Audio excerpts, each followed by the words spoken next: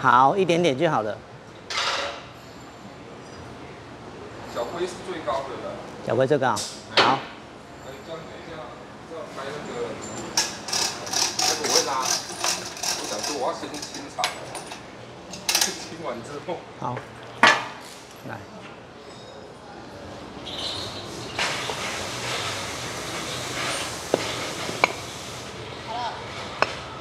开始了哈，对，哎，拜托了，车友们，一人一组避震器哈，就就魏经理，魏经理这边波涛了啊，因为我们公司呢有另外一个直直播组哇，也是介绍的也是超级专业的哈。那车友们大家好，这是在五代 RAV4 的社团，可是这一台车是 RAV4，但不是五代了，因为我们刚好有安装到 RAV4，所以我们就在社团里面呃开个直播跟车友们来介绍，因为有车友安装了 KT。那帮我们分享，结果有很多热烈的一个讨论了哈。那如果车友们呢有任何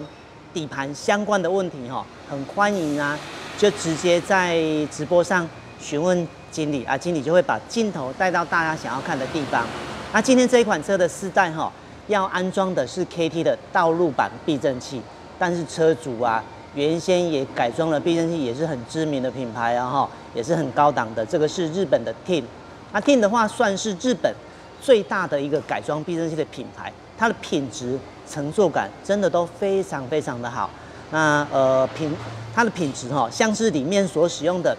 油封，如果有看过经理做过其他车款的直播哈，就可以呃大概介绍的其实都差不多哈。像是 Tin 的话，它的品质为什么会那么的好？因为啊，它所使用的油封就是使用日本。N O K 的油封哦，而日本 N O K 的油封可不是贵个一层两层哦，它是贵了好几倍哈。但是它的品质就是特别特别的好哈。所以 K T 的话，哎，也是使用日本 N O K 的油封哦哈。好，那这一台车的 RAV4 四代啊哈，跟车友们呃最近比较夯的一个五代哈，它的底盘其实是不太一样的哈。呃，T N G A 新款的五代底盘。它的后悬吊改进的非常非常的多。那室内的话，它的悬吊系统，它是长得像这样子。它的避震器是有斜度的，但是以 T 来说哈，以这一台的车来说，如果啊空载的时候还可以，可是满载的时候一定不行。其实经理对这一款车装 T 的并不是很了解，但是我看到它的设计，我也就有跟车主讨论哦。哎，结果果不其然，跟经理说的一样。来，我们来看一下这一台的一个小小缺点哈。这个是四代的 Tin 哈，那可以看到它这里的行程，好，这一节就是它所避震器做动的行程。这个单纯是讨论，因为这个也都是很棒的厂商。那我们来指指出这样的状况，来跟车友们讨论。好，这个行程已经那么短了哈，那车子放下来之后。它有车高原先的重量，它大概啦，大概会压缩到剩下，剩下大概两呃一两指两指幅左右，也就是大概剩下三公斤。那是空载的时候，如果假设我们后座坐了三个成人，呃两百公斤，再加上后行李大概五十公斤就好了，那就大概是两百五十公斤，再除以二的话，一边大概一百二十五公斤左右哈。那一百二十五公斤，这一条弹簧的撑度啊。它就足以让它形成剩下一点点，那剩下一点点，万一行路间有遇到比较大的坑洞，它就有可能会有触底的状况。所以果不其然，车主有说，当这一款避震器在满载，那有遇到比较大的坑洞，它的后面呢就有一个类似触底的状况哈。所以它避震器目前为止都是还是好的哦但是空载的时候，哎可以的，那满载的时候可能就没有办法。但这一台车也有好处啊，如果呃，开 RAV4 的车主，你通常都是只有一个到两个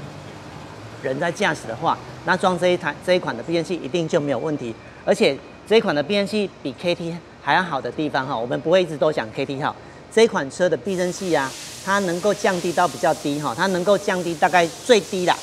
最低大概是两指幅多哈。但 KT 的话没有办法降到那么低，KT 的话最低的话哈，大概还有大概四指幅左右。因为这一台车啊，后方的轮胎上缘到叶子板大概快接近两个拳头哦，所以 KT 的话后方是可以降低大概四指幅，没有办法像 T 降到那么低。但是啊，KT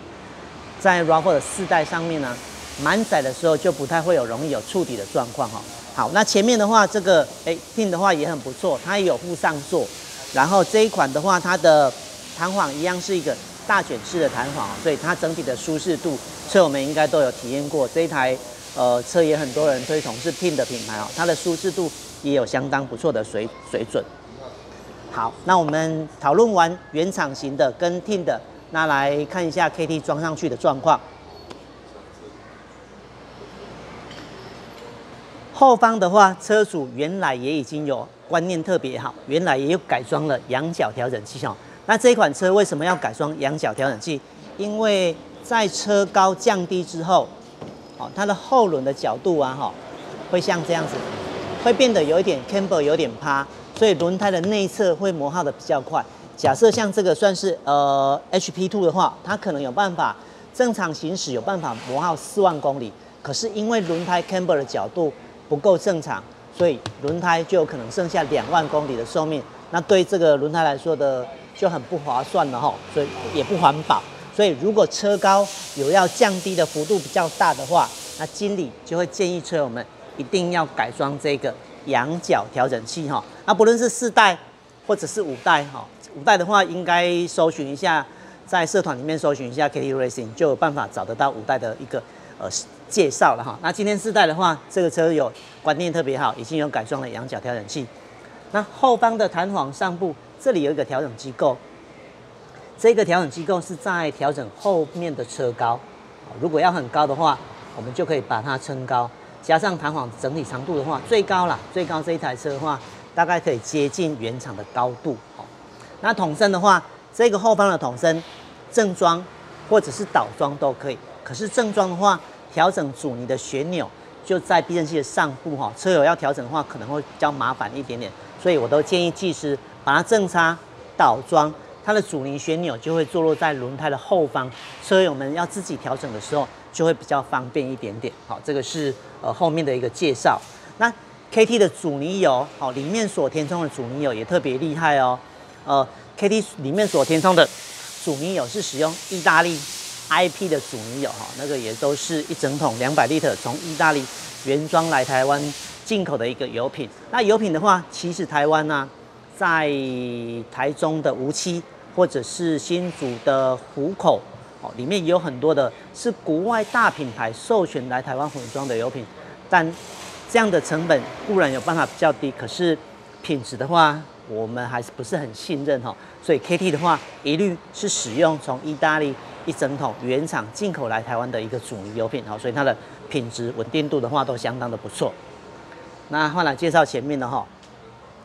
那即便呐 KT 用那么好的阻尼油，但是用久了一样会裂货啊哈。那 KT 的话也有办法来让车友们做一个售后，售后的话，诶，也许有可能装了大概三年五年，阻尼油有裂化了哈，或者是油封有漏油，这些都是可以汰换的哦哈。好，那前面的弹簧公斤数。KT 是配置两百长七公斤，是一个哦，像跟 Tin 一样哈，是一个大圈径的弹簧，而且这个的圈径比 Tin 还要更大，会更舒服一点点。那线径线径之间的距离呢，也能够拉得比较开哈，就是它做动的行程啊，会比直卷式的弹簧多出了三十 percent 左右。那毕竟啊，RAV4 的话，不论是三代、四代、五代，它全它都是一个修理车的形式，所以修理车就应该要有修理车。呃，一个基本的一个驾驶的一个舒适的感觉嘛，哈，不会把它改得太运动化，所以前面跟后面的弹簧，我们配置的弹簧都会以舒适为一个导向。好，那上座的部分的话，它是在上部哈，上部的话会有一个 K T E 有副上座，好，那这里有一个旋钮，这个旋钮就是在调整软硬的，往顺时针方向，哦，它有一个 H 的 logo。H 的话，hard 就是变硬哈，所以从这个地方可以调整阻尼。那阻尼的话，调整有一个小地方要注意的，就是左边跟右边的段数一定要对称哈。啊，前后的话可以不用对称，没有关系。好，那这一台车的前面离载算部分，也有很多车友问说，啊，要不要改装呃可调式的或者是强化的离载算哈？其实 KT 的设计是不用，我们用原厂离载算就可以了。然后这里有一些油管固定架，还有 ABS 感应线之类的，这些都是跟呃原厂的一样，都要符合安全的相关的规定。好，这个地方。那前面车高调整会比较单纯哦，我们只要把它它它的基座把它拉长，它的车高就变高了，并不是靠压缩弹簧的方式去改变车高，所以它能调高跟调低的范围会比较宽一点，而且不会因为调高把弹簧逼住了，它的乘坐感觉就变硬哈，所以它能它的是一个呃筒身可调的设计，那在调整上的会比较多元化一点点。那 KT 的话，最近很受到车友们推崇，尤其是很谢谢五代的车友那么的捧场。那我们在呃台中的 KT 的工厂，在潭子或者是我们北区 KT 有北区有经销商啊哈，南区也有南区的店家，中区也有经销商之类的哈，我们都有一个完整的销售体系。如果啦车友们有需要试乘，要试试着要做看看的话，都很欢迎跟我们的小编联络。那如果有任何问题的话，在直播当中不好意思提出来的话，也都可以私讯我们家小编。那以上是今天 RAV4 四代的安装 KT 避震器的分享，谢谢大家，拜拜。